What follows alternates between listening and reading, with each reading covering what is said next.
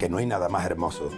que un liño verde de olivos, el olor a tierra fresca en la ribera del río. La agricultura no es más que la espera y sacrificio, temiéndole al temporal porque el fruto es como un hijo, que hay que saberlo criar con mesura y con cariño, que la mañana de vida, con sus gotas de rocío, porque no solo hay sequía de agua en nuestros cultivos, la sequía de la justicia y siempre un favorecido,